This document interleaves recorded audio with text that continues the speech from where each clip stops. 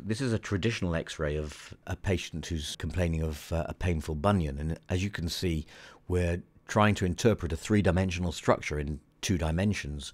So here's an x ray looking from the top down. You can see that the tip of the big toe is deviated outwards. If we look at the same image from the side, you can see it requires the doctor to be able to put those two images together to work out what's going on in real time. Now, for the first time in the UK, a new technology will enable us to view the foot and ankle in a 3D image, as you can see here.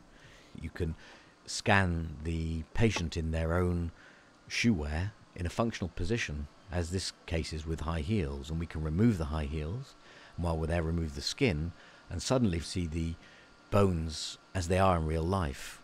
And the entire body weight of this patient is going through those two tiny little bones that are sitting under the big toe.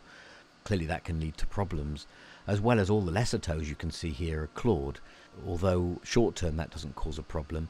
If you take the foot out, the toes straighten again, but over many years of repeated use, they could lead to fixed clawing of the toes. We've carried out some research at the Royal National Orthopaedic Hospital, which shows that up to 57% of uh, female patients admitted to experiencing uh, foot pain as a result of regularly wearing uncomfortable shoes.